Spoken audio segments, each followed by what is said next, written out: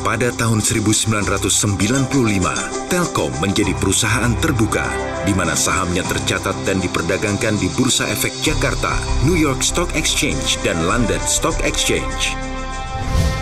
Ini adalah langkah awal Telkom Indonesia untuk menjadi operator telekomunikasi kelas dunia.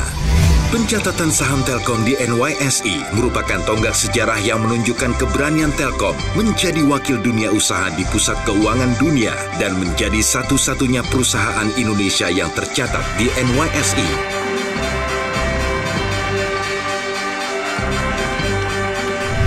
Terima kasih atas kepercayaan masyarakat Indonesia yang selama 20 tahun mendukung dan menjadi pelanggan setia kami.